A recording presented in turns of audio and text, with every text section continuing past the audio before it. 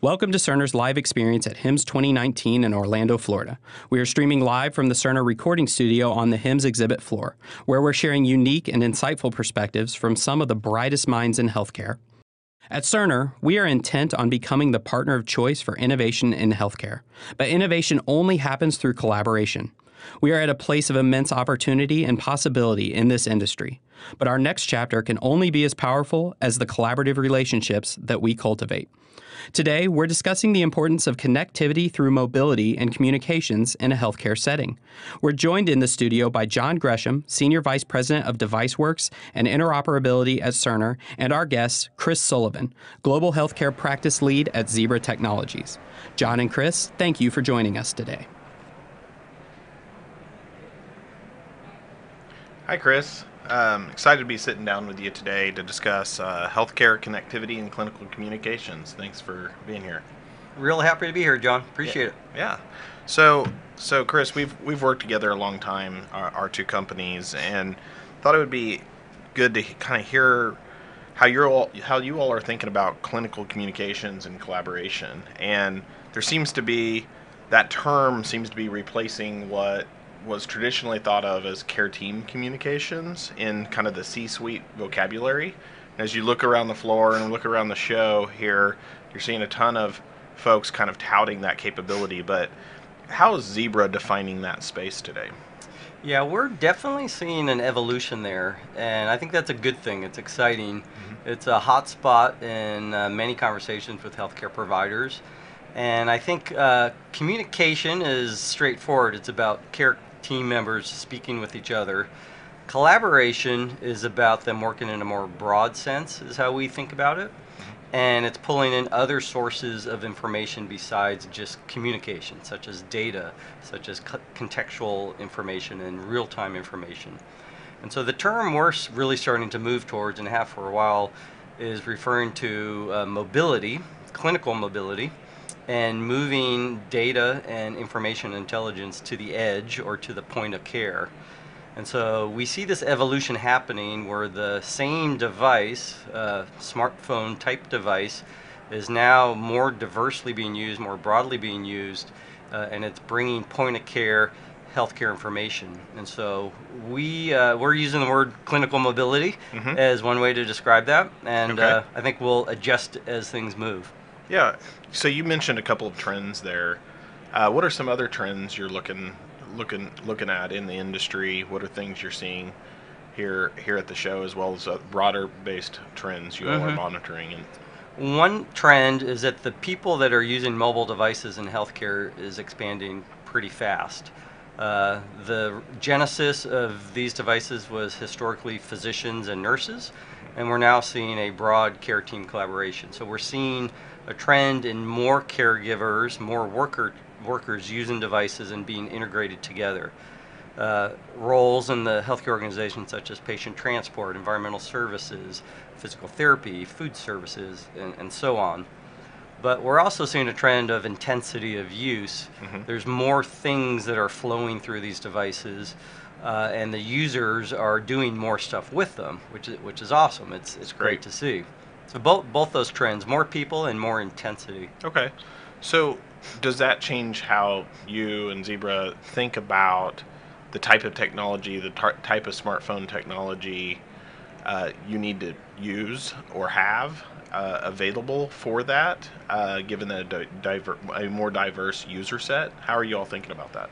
Yeah, that's a great question, and it's a real time uh, thing that we're putting a lot of thought into. Mm-hmm. So, our objective is to be able to provide a single enterprise wide communication information sharing platform mobily. Mm-hmm. And um, we uh, get lots of feedback on different preferences for types of products, types of technologies. So, we're looking both at integrated software capabilities that can work well with the existing information systems but we're also exploring different types of form factor types to address different employee types, i.e., uh, not all caregivers and care delivery personnel want the same things. Mm-hmm. So we have uh, lower tier devices that have some functionality, but not all of the functionality. We have things that do just voice communication. Uh, and, and that's that's how we're looking at it is trying to be flexible to the organization's needs. So, so one of the terms in the industry is BCMA or barcode meds administration. So some users may have that. Phlebotomists may have a use for barcode meds and, and phlebotomy workflows, but other users like EVS and transport, they may not need the same device needs. Um, as well as how does that extend to the broader care team in the home and so forth. And so you're thinking about all of those pieces. Yeah, absolutely. Okay. And you look at the example of uh, barcoding and data capture. Mm-hmm. Uh, you mentioned medication administration, breast milk administration. You look at things such as capturing a medical device for UDI. Mm-hmm. Uh, certain caregivers are doing those things often every day. Other roles, not so much. Uh, and so the concept of having a, a, barcode capture functionality in a device may not be necessary for other employee types. Okay. So, so one of the other uh, industry hot topics is kind of the topic of alarm fatigue. How are you all thinking about alarm fatigue, assisting in that, uh, while still ensuring that the right clinical information is getting to the caregiver? Because it's so important, but how, do, how are you how how is Zebra impacting that in a positive way, and also thinking of new innovation to assist? Mm-hmm. Well, alarm fatigue is a double-edged sword. The ability to have real-time alerts and alarms, wonderful, powerful, can make a difference in care delivery. Uh, but be careful what you wish for. You could get an overload, hence the term alarm fatigue. And so it's not uncommon for hundreds of alerts or alarms to be distributed in very short periods of time. So what we're trying to do is play a role in helping in the management and the intelligent delivery of that.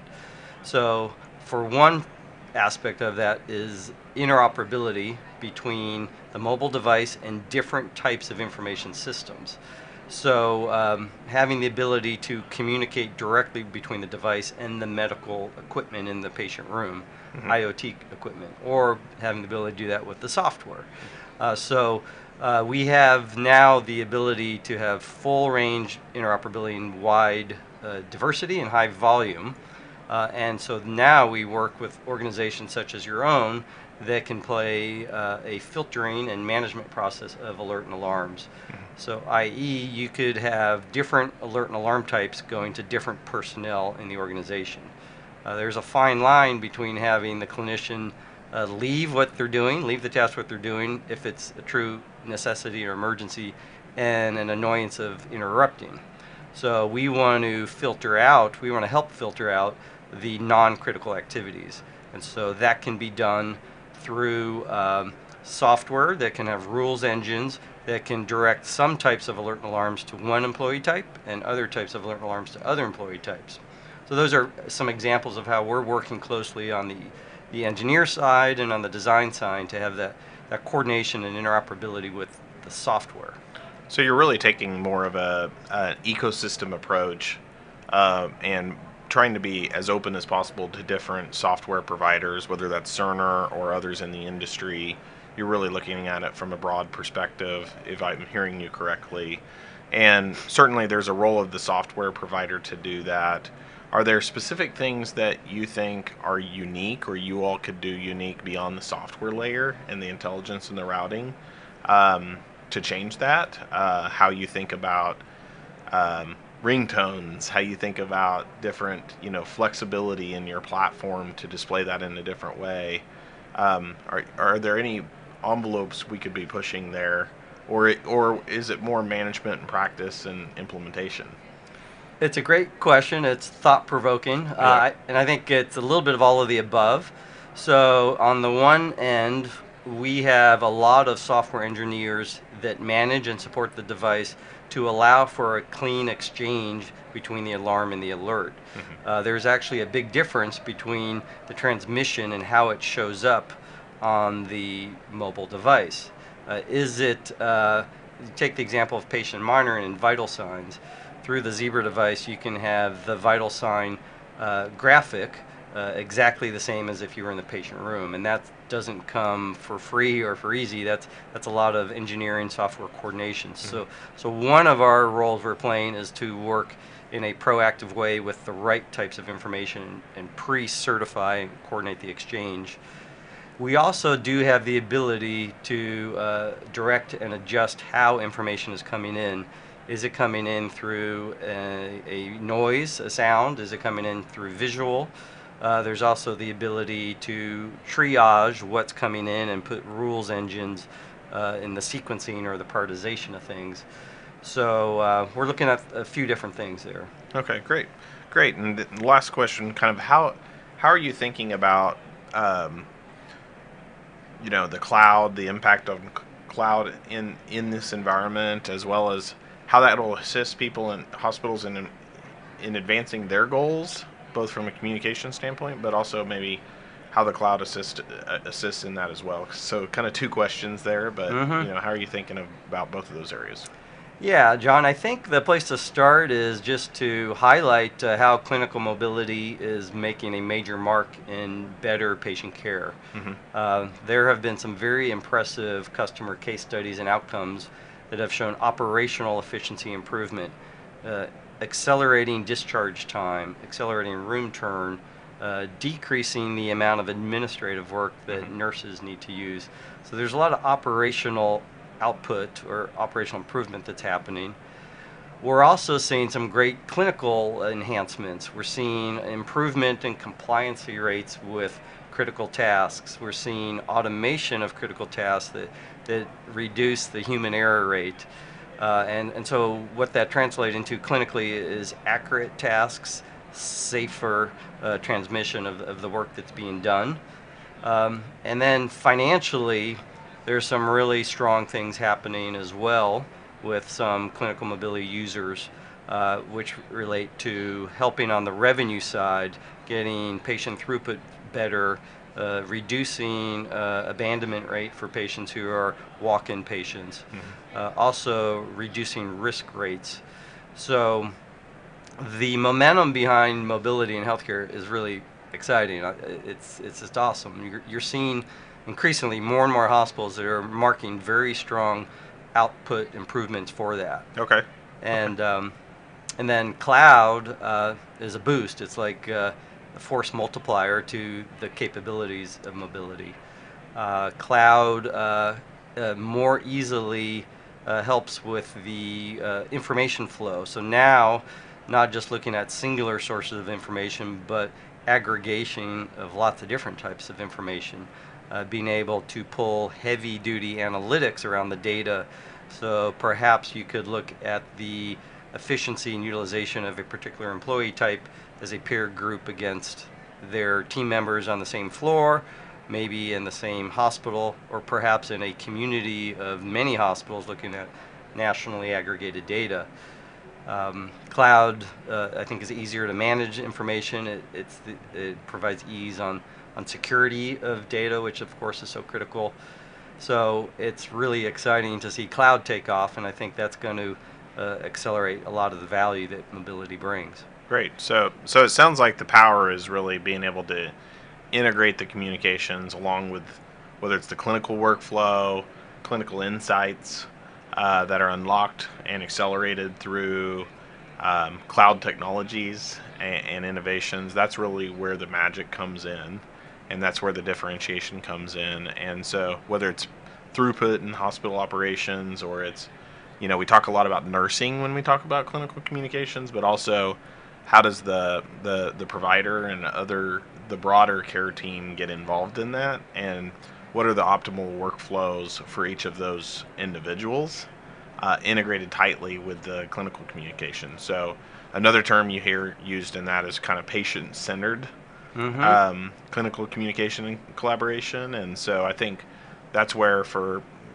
for everyone i think the patient centered aspect that can't be forgotten so you know Absolutely, great point. yeah Um, when you streamline workflows, you automate activities, and you unify disparate information sources, what what we're really doing together is reducing the clutter for the caregiver, reducing the administrative tasks, freeing them up to be with the clinician or with the patient rather. Mhm. Uh, and when the, they're with the patient, uh, the technology and the solution sets there to give them the information they need to stay with the patient. So it should begin and end with that patient centeredness, and that's an, a very exciting part of, of this capability. Great. Well, appreciate you being here today, Chris. It, it's great. It's been a great collaboration and, and partnership between our two companies. So thanks for spending the time here today. Our pleasure. Great. Thank you. Thank you. All right.